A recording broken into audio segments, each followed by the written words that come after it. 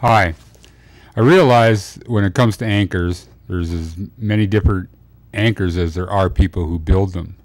So I can't really give you any rules, and I suggest you go out and get professional instructions.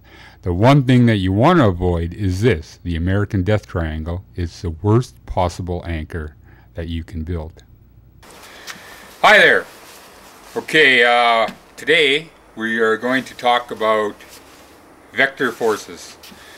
And I realized after years and years and years of teaching sort of building anchors and we talked about vectors that when I went to Wikipedia and tried to find out a little bit more about vectors before I uh, started this little video that um, I don't know anything about them and I can't explain what a vector is any more than I can explain what the theory of general relativity is.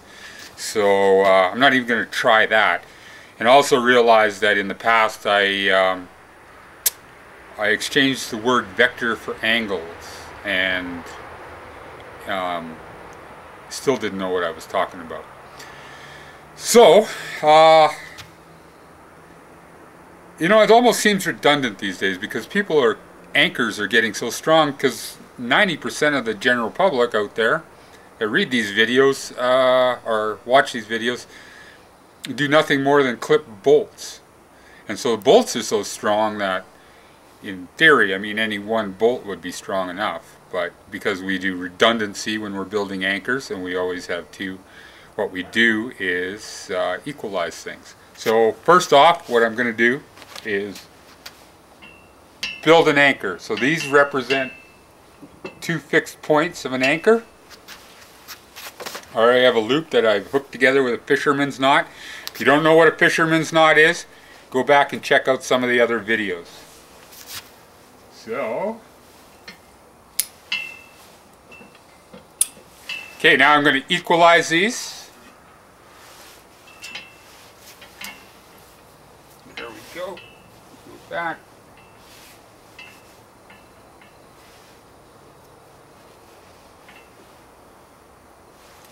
There we go. We have an equalized between the two points of the anchor.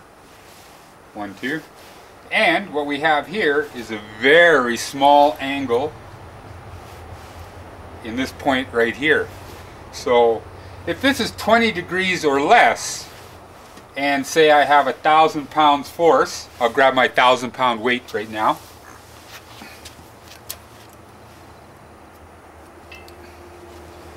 Now I have 500 pounds going this way and 500 pounds going this way. Technically, actually I have a little more than. I have maybe 510 pounds going this way and 510 pounds going this way. This isn't perfect. It would have to be a straight line. Okay, so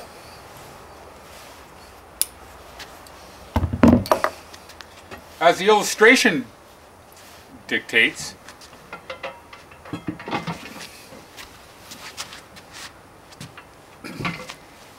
as I, my anchor points move further and further apart, this angle gets greater.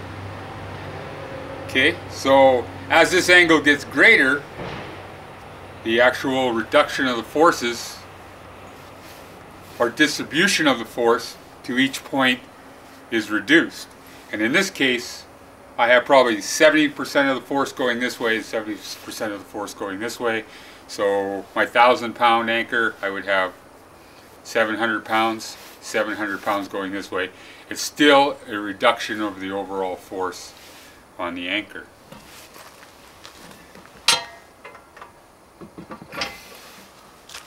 Now if we go crazy, this angle is huge now, right here. And so I no longer have a reduction of force, now I'm getting to the point where I am multiplying the force, if you can believe that, right? So the weight here is the same. What has changed is this angle here, all right? And if I go even further yet,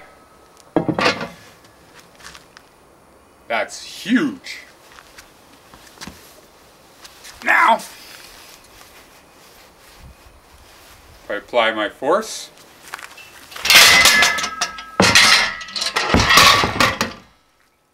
so what's changed is the lever. Let's see if I can explain this uh, differently so you'll understand. Okay, I'm not going to get too into this.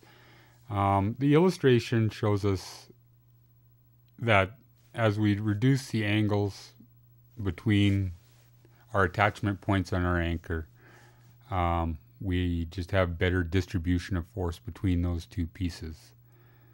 So that's about it for that. Uh, maybe I can explain this in one more way that visually um, might be helpful. So I have my thousand pound dumbbell here. Now if I hold it down on my side, I can hold it here for quite a while. In fact, a very, very long time, right? But as I raise the dumbbell, I can't hold it here for very long. Now, the weight hasn't changed. What's changed is the lever. So this angle here has changed. God, I'm getting to be a wimp. Okay, and so those are the vector forces that we're talking about. So when you're building an anchor, and you're especially building it out of natural protection and natural gear, say cams, nuts, pitons, so on and so forth, you want to reduce those forces as much as possible to maximize your safety and to build a good, strong anchor. Okay? Got it? Can't hold it here for long. Weight is the same. Can hold it here all day. Weight is the same. Only thing that changes is the lever. Thanks.